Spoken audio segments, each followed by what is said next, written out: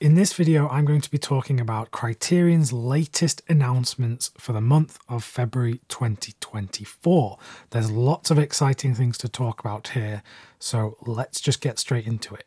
We have a 4K upgrade coming to the collection on February 6th.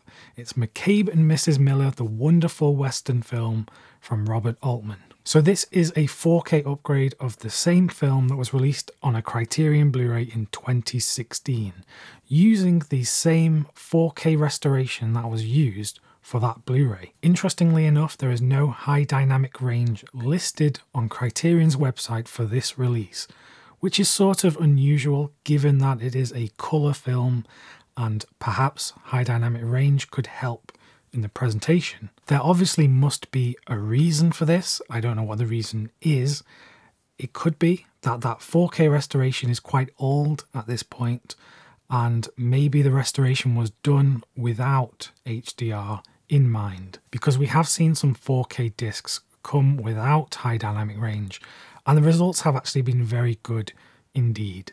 So it isn't the case that no high dynamic range means a bad disc. That's not the case always. As is standard for Criterion's upgrades, the artwork is exactly the same, the special features are the same carried over, so you get nothing different except for the presentation of the film itself. Even though I love the film, it's one of my favourite uh, revisionist westerns and has that classic Altman style, I don't actually own the Criterion Blu-ray.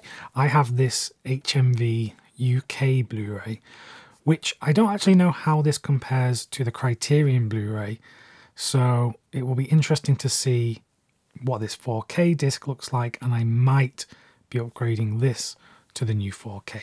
Next up, coming on February 13th, is something I'm personally very excited for.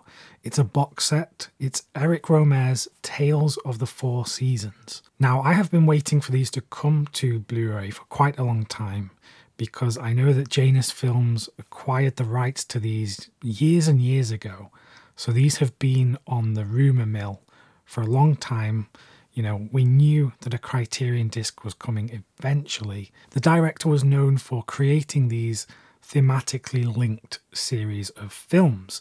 Criterion have actually already released one of these. This one, Eric Rohmer's Six Moral Tales, and you may also be able to get your hands on Rohmer's Comedy and Proverbs series. This was released by Arrow a few years ago. Needless to say, he is a great filmmaker, one of my favourite French filmmakers of all time, so I'm very excited for this set to finally be coming to the Criterion Collection. The set is entering the collection at spine number 1206, and in terms of special features, it actually looks quite light on features. But in this case, the films themselves are the most important thing, so I'm going to be getting this one regardless. Coming on February 20th, spine number 1207 is a set of two films from acclaimed filmmaker Johnny To.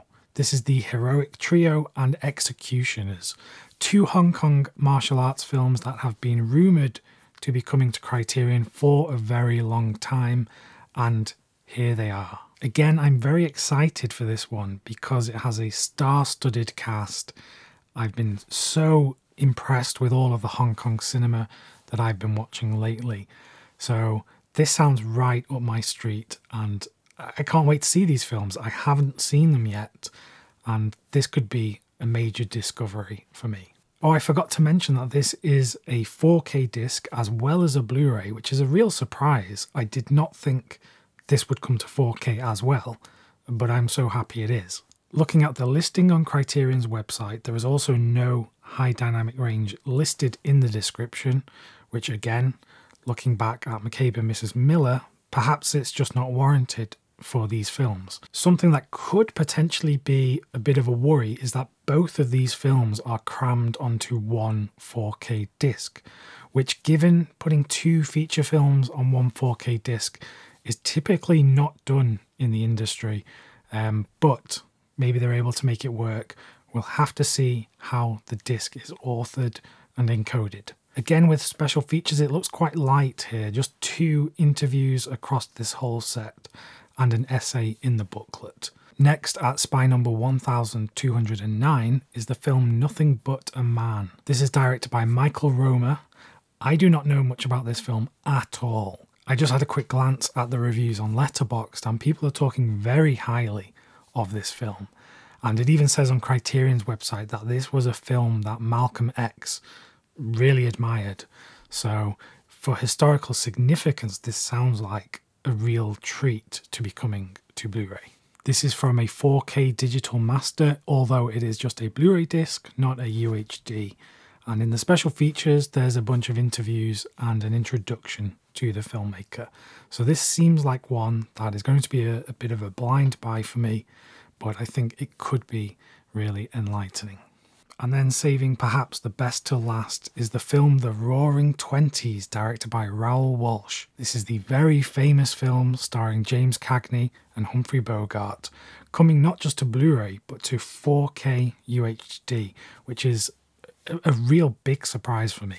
I have been wanting to get this film for a very long time. I'm a huge fan of Raoul Walsh.